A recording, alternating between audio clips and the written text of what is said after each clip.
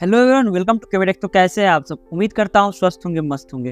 तो देखिए गाइस अभी एक न्यूज़ निकल कर के आ रही है कि नीट का एग्ज़ाम या फिर जो भी गवर्नमेंट एग्ज़ाम कंडक्ट कराती है, वो जो है सो ऑनलाइन में शिफ्ट होने जा रहा है।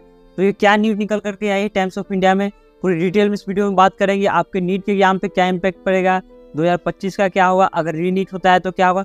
सारी बातें पूरी डिटेल में इस वीडियो में करेंगे तो आप लोग वीडियो में तक बने रहिएगा। और वीडियो अच्छी लगेगी तो वीडियो को लाइक ज़रूर कीजिए और चैनल को ज़रूर सब्सक्राइब कीजिए। अगर सब्सक्राइब नहीं किए तो आपको हर एक अपडेट कोटा कोचिंग से related, NEET I I T से रिलेटेड हर एक अपडेट टाइम टाइम मिलता रहता है तो आप चैनल को ज़रूर सब्सक्राइब कीजिएगा। चलिए बिना टाइम वीडियो को स्टार्ट करते हैं। आपने अभी सुना होगा कि नीट 2025 का एग्ज़ाम जो है ऑनलाइन होने जा रहा है। ये कहाँ से न्यूज़ निकल करके आई? तो ये न्यूज़ निकल करके आई आपको टाइम्स ऑफ़ इंडिया से।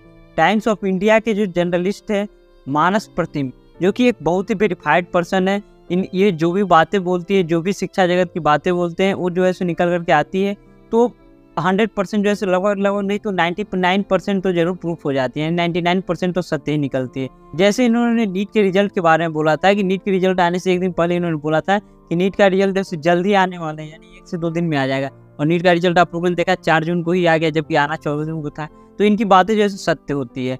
तो इन्होंने जो है सो एक टाइम्स ऑफ़ इंडिया में इन्होंने एक आर्टिकल लिखा है, उसमें इन्होंने बोला है government likely to go for J online test form for exams यानी कि गवर्नमेंट जो है सो सोच रही है कि जितने भी एग्ज़ाम्स लेती है गवर्नमेंट इंडिया गवर्नमेंट वो सारे एग्ज़ाम्स को जो है सो ऑनलाइन में शिफ्ट कर दिया जाए। यानी कि जिस तरह से जेई का एग्ज़ाम दिया जाता है, ठीक उसी तरह से एग्ज़ाम दिया जाए। जेई का एग्ज़ाम किस तरह से होता है?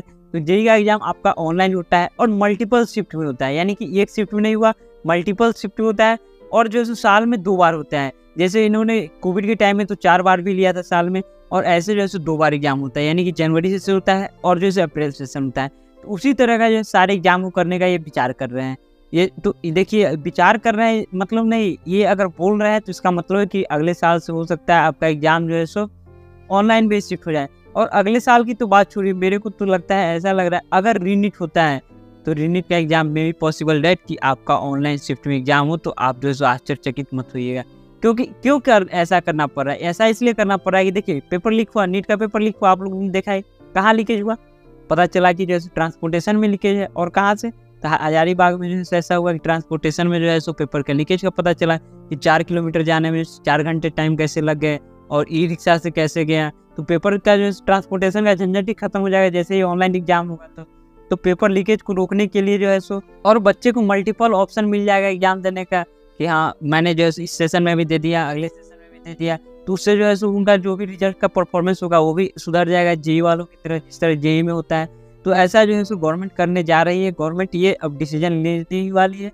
मतलब अंदर से बात निकल करके आई, जैसे सूत्रों के हवाले से जो खबर बोलते हैं, वही काम जैसे मानस प्रतिम करते हैं, आपको जो भी खबर लाके देते हैं, वो सूत्रों के हवाले से खबर होती है। तो इन्होंने बता दिया कि आपका जो है एग्ज़ाम जे स्टाइल में होने जा रहा है, यानी कि आपको नीट का एग्ज़ाम पे जे स्टाइल में होगा। नीट तो छोड़ो, आप सी हो या फिर जो भी एग्ज़ाम गवर्नमेंट लेती है, सारे एग्ज़ाम्स को अब इसी तरह कंडक्ट कराए जाएँगे। क्योंकि आप पेपर लीक का एलिगेशन देख ही रहे हैं, संसद में भी इतना ही हो रहा है कि सात साल में जो सत्तर पेपर लीक हुए तो पेपर लीक का एलिगेशन खत्म हो जाएगा। ये सब चीज़ें अब नहीं हो पाएगी अगर ऑनलाइन एग्ज़ाम होता है तो। तो ऑनलाइन की वजह से ये सारी चीज़ अब शिफ्ट होने जा रही है। तो आपको क्या लगता है, ये जो मल्टीपल ऑप्शन जिस तरह जेई का एग्ज़ाम होता है, उसी तरह नीट का एग्ज़ाम कंडक्ट कराया जाएगा 2025 में? और कंडक्ट ही कराया ही जाएगा कन्फर्म ही कंडक्ट कराया ही जाएगा लगभग लोग समझिए आप।